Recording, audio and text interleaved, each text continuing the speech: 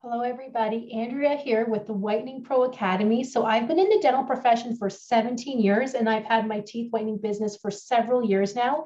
And I teach others how to become teeth whitening technicians and how to run a successful teeth whitening business because it's one thing to learn how to apply the peroxides safely, learn infection control, cleaning, all kinds of that fun stuff.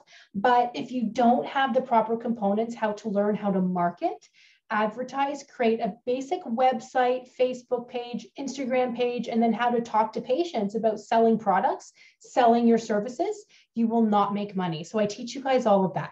I'm going to give you a sneak peek inside the course right now. So this is what your course looks like. Yours does look a bit different. This is the admin side of things. So this is what it looks like when I'm updating the course. Your course is a lot prettier. So basically what you have is you have modules. So, so you can kind of decide where you want to learn first. Do you want to watch our previous online classes where it's basically I lecture you about a topic it's a question answer time, and I help you with anything you need help with in your teeth whitening business.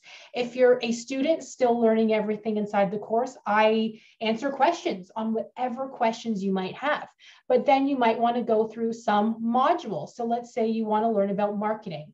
What if you want to learn about your business overall and payment processing? How are you going to accept payments? Are there processing fees involved? What if you want the patients to pay by credit card? I teach you guys all of that.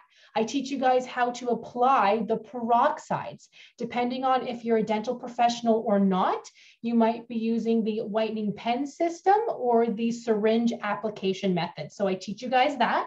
And then we go through sort of what's included in your wholesale account. I talk about staining. Different stains on teeth will not whiten, but some will. You'll need to know the difference and how to talk to patients about that.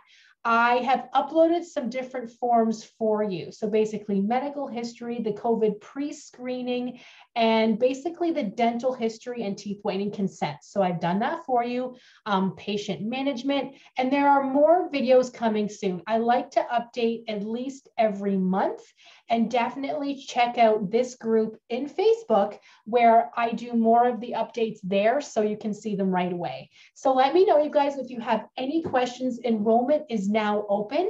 And if you are a student inside the course and you're ready to take your online clinical testing, email me, let me know, and then we will find some dates for you.